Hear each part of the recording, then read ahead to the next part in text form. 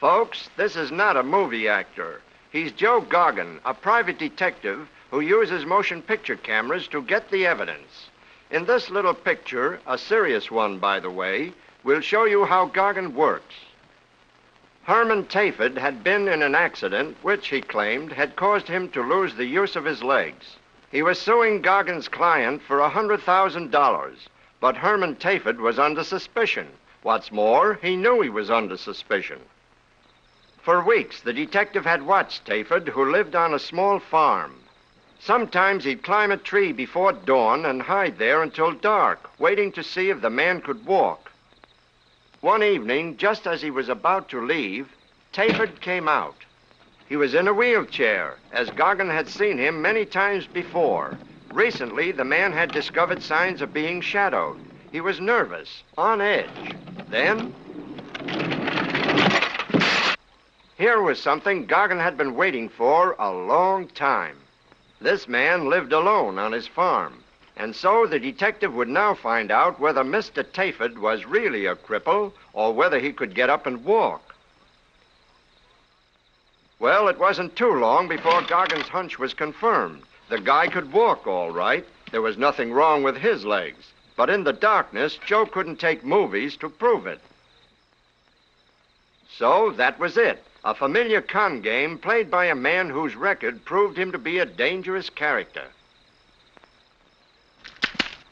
Suspicious, jittery, trigger happy. That guy was playing for keeps. A good thing for Goggin that the old goat decided he was just getting jumpy, that he thought the noise in the tree was caused by some animal. For weeks, the detective had no success at the farm. Then, at a hospital, he'd secretly arranged for some additional medical tests for Taford. This time, he hoped to get movies that would definitely prove the man to be a fraud.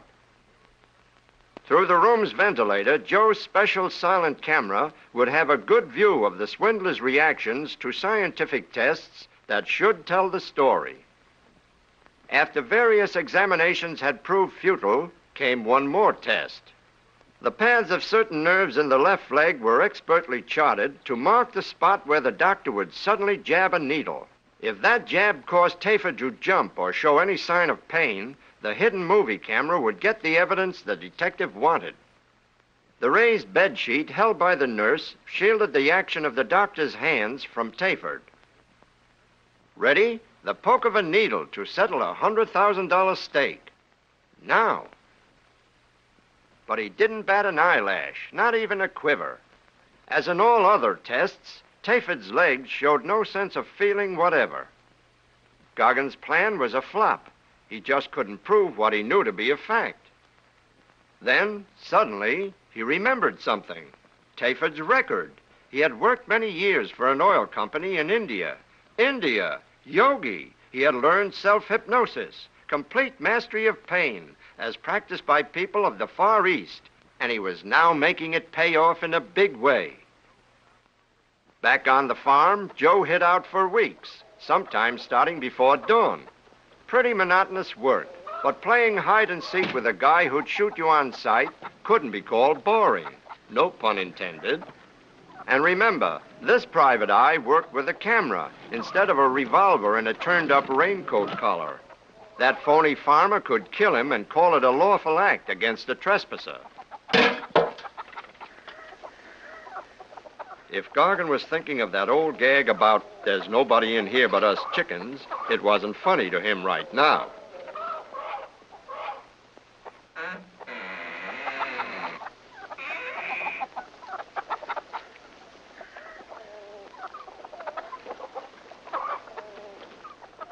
Once again, Lady Luck was on Goggin's side. One day, after more weeks of trying to catch Taford off guard, Joe tried a new bit of strategy.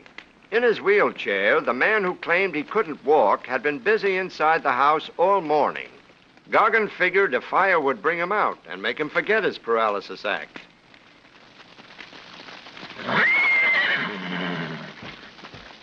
Risky business.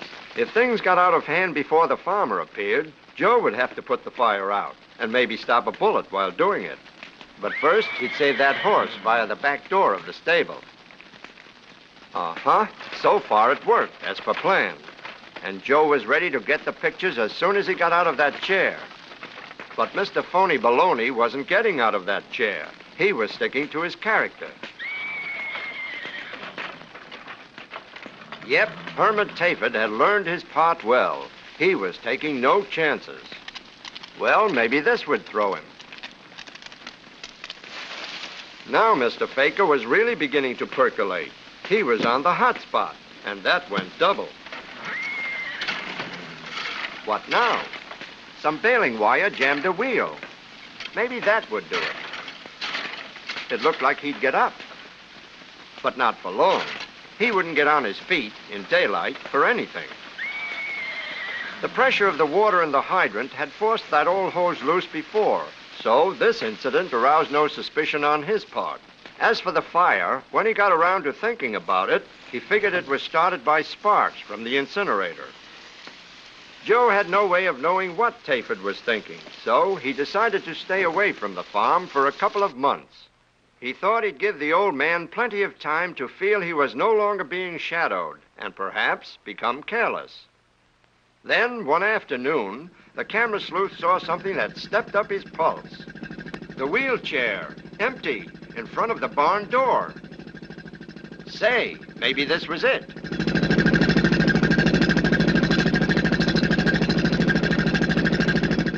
The noisy irrigation pump would drown out the sound of his movements, but it also covered directly above him other sounds. A 200 pound bale, quietly shoved into position by a desperate man.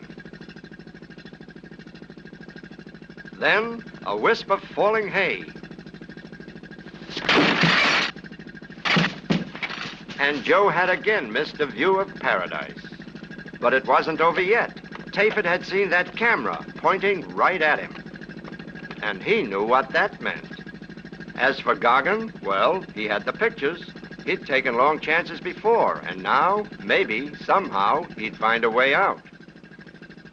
Herman Taford's record showed he had beaten two murder raps in his time. Joe knew he wouldn't hesitate to try again if he was pressed. So, Joe wasn't pressing. Now, after all those long months of work and danger, the precious evidence completely destroyed.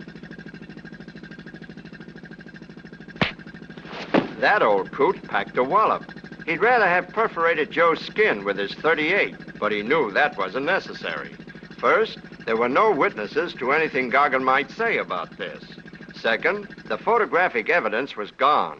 Later, he'd even get rid of the metal film spool now in the incinerator. And third, the medical tests were all in his favor.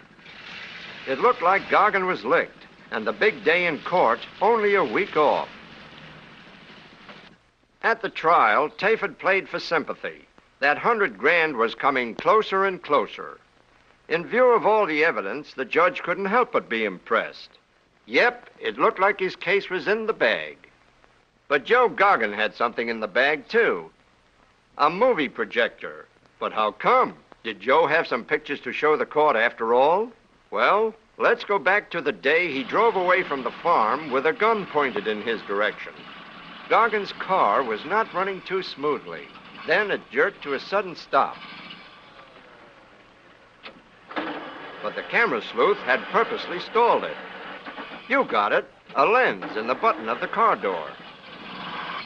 On the other side, a movie camera aimed at Taford and started by a button on the dashboard.